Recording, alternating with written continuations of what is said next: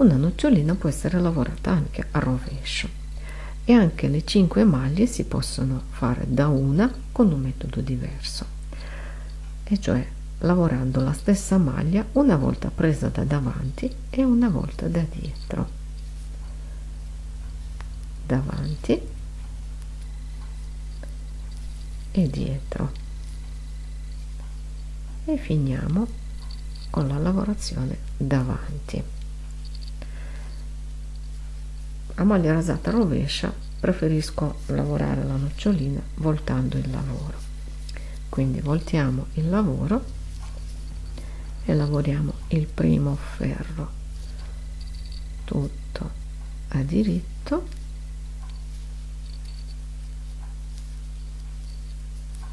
Giriamo ancora. Lavoriamo tutto a rovescio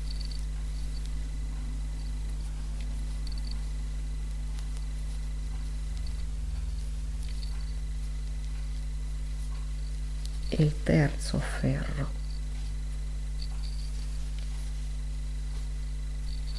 Tutto a diritto.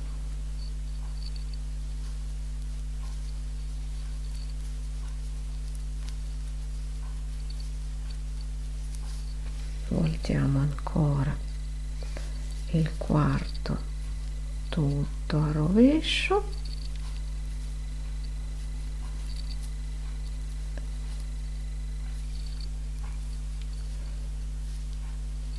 e l'ultimo tutto a diritto.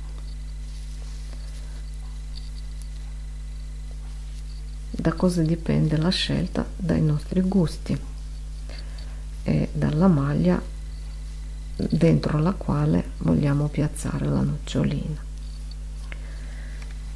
Ora creato il corpo della nocciolina come altro la possiamo chiudere per esempio lavorando 5 insieme a rovescio questo metodo si addice alla nocciolina fatta a maglia rasata rovescia ma anche a quella fatta a maglia rasata diritta.